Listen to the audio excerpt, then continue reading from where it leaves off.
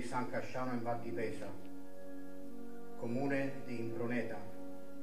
Impegno. Migliaia di americani e italiani hanno potuto rendere omaggio ai nostri caduti e offrire...